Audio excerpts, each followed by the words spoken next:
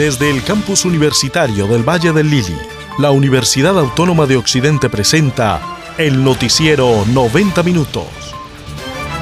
Buenas tardes, bienvenidos a una nueva emisión de 90 minutos. Para en detalle, en nuestro espacio de análisis de los viernes, le pusimos el dedo en la llaga a la grave situación de delincuencia que tiene azotados a los comerciantes del sector de la Galería de Santa Elena de Cali.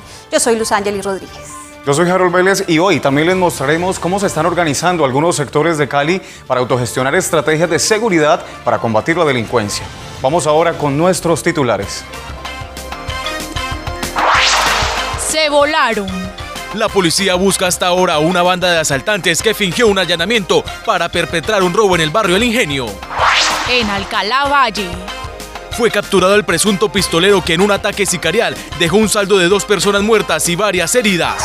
En Suárez, Cauca. Gaula del Ejército rescató a un ganadero quien llevaba 56 días secuestrado. Delincuentes comunes exigían 1.700 millones de pesos. Los buses son del municipio. Presidente de Metrocali asegura que los buses de hit masivo, el operador que se quiere retirar, van a seguir operando y que no pagará un peso de indemnización. En detalle.